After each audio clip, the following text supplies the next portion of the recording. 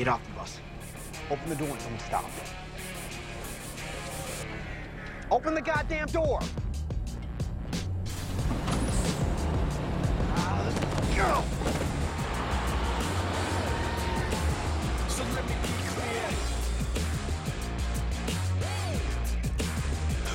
Nothing.